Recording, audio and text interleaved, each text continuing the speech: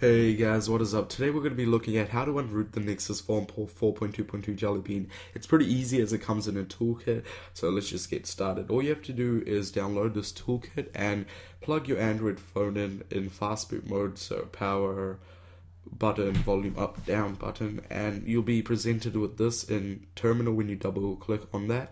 So all we have to do is press enter. So that's all you have to do to unroot your Android phone. As you can see, we are in this mode. So it will start uh, unrooting everything and putting it back to stock.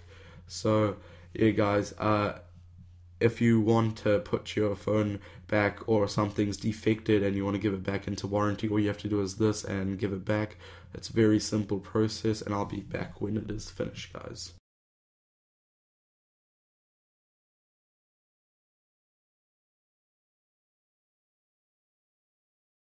Now that the process has been complete, it will reboot into your normal state. So basically, thank you guys for watching this video. Please like, rate, and subscribe, and stay tuned for more content like this. Till then, goodbye.